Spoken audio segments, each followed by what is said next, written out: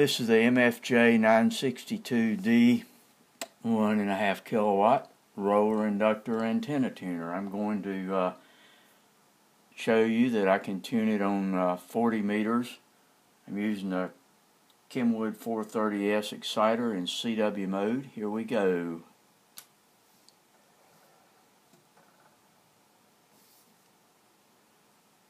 There. 125 watts out and uh, 1.1 to 1 SWR. Now we're going to go to 17 meters.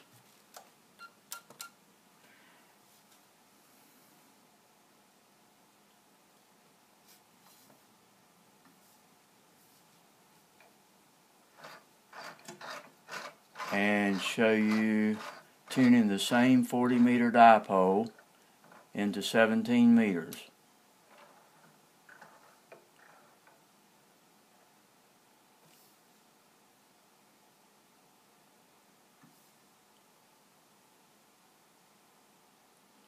There we go.